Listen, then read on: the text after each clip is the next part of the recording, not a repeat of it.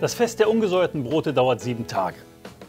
Und es beginnt mit dem Passafest, aber es gibt einen besonderen Tag, nämlich den zweiten Tag innerhalb dieser Festwoche.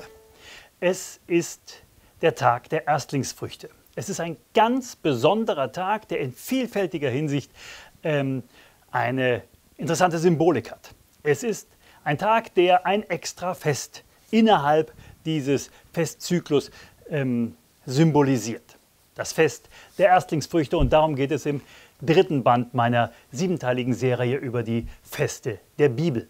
Der zweite Tag dieser Festwoche, das Fest der Erstlingsfrüchte. Erstlingsfrüchte sind das, was zuerst wächst und was Gott dargebracht wird. Der erste Teil wird Gott als Opfer dargebracht. Das ist etwas sehr Interessantes, was, wenn wir im Alten Testament ein wenig uns damit beschäftigen, ganz oft in ganz unterschiedlicher Weise vorkommt. Es wird sehr viel von Erstlingen gesprochen.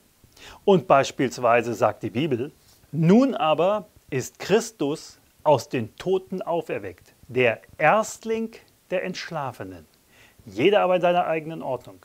Der Erstling Christus. Jesus wird als Erstling bezeichnet. Warum? Weil der Tag dieses Festes ist genau der Tag der Auferstehung Jesu. An diesem Tag ist Jesus auferstanden. Es ist das Fest der Auferstehung. Es ist das Fest, wo wir wissen, Sünde, Tod, Teufel ist besiegt, ist endgültig besiegt. Die Niederlage ist perfekt gemacht. Jesus ist auferstanden. Dieser Tag hat den Lauf der Menschheitsgeschichte völlig verändert. Es ist etwas völlig Neues geworden. Was vorher war, ist das eine. Aber mit der Auferstehung Jesu begann etwas vollkommen Neues. Es ist fantastisch. Wenn wir uns mit der Bedeutung dessen beschäftigen, was dieser Festtag und die Auferstehung Jesu für uns bedeutet, wird es uns unglaublich im Glauben vorwärts bringen. Deshalb lade ich dich ein, dich mit diesem Büchlein zu beschäftigen.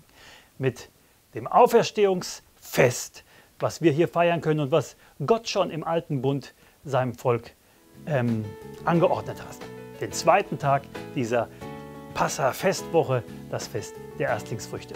Ich bin sicher, du wirst gesegnet werden und ich bin sicher, du wirst erkennen, was die Aussage dieses herrlichen Festes ist, nämlich Gott hat mehr für dich.